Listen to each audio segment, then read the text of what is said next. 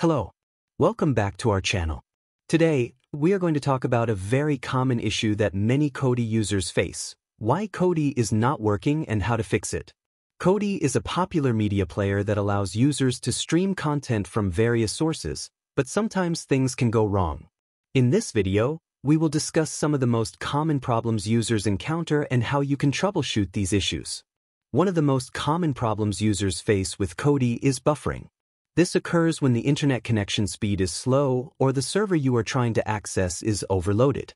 To fix this, try closing other applications that may be using up bandwidth and consider using a wired connection instead of Wi-Fi.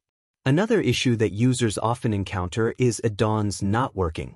Add-ons are third-party extensions that enhance Kodi's functionality, but they can sometimes stop working due to updates or server issues. To fix this, try updating the add-on or reinstalling it from a trusted source. Playback issues are also a common problem with Kodi. This can be caused by incompatible file formats, outdated codecs, or insufficient hardware resources. To troubleshoot playback issues, try using a different media file or updating your system's codecs. Now that we've identified some common problems, let's discuss how you can fix them.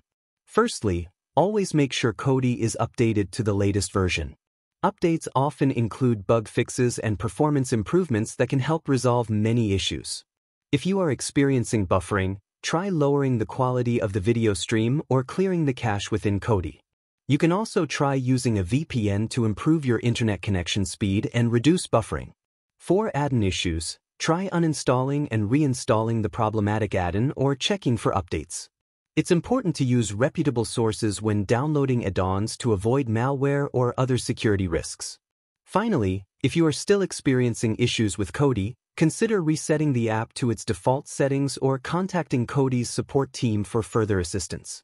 In conclusion, Kodi is a powerful media player, but it can sometimes encounter problems. Thank you for watching, and don't forget to like and subscribe for more tech tips and tutorials.